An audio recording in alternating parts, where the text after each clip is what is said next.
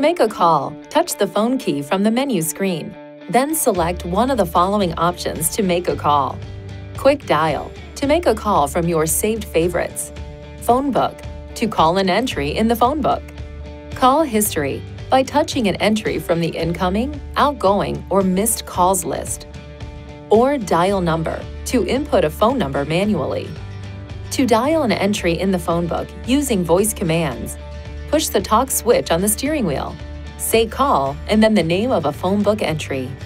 When speaking voice commands, you can push the talk switch to interrupt the system while it is listing the available commands. Begin speaking when the face icon on the display changes. To accept an incoming call, press this button on the steering wheel or touch Answer. To reject an incoming call, touch Decline.